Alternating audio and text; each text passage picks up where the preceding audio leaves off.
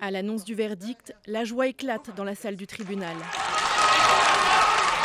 Hosni Moubarak est acquitté. Ses deux fils l'embrassent sur le front, lui esquisse un sourire discret, et pourtant, le procès a été en sa faveur. La justice a abandonné toutes les charges qui pesaient sur lui, affaires de corruption et complicité de meurtre pendant les révoltes de 2011.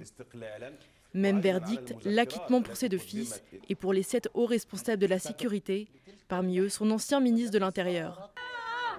Au même moment, devant le tribunal, des centaines de pros et d'anti-Moubarak manifestaient leur colère. Il faut une peine plus juste. C'est la constitution de Dieu qui devrait être appliquée. Chaque personne accusée doit payer pour les crimes qu'il a commis. Le président Moubarak est une figure du nationalisme ainsi qu'un grand homme militaire. Grâce à lui, Taba a été libéré.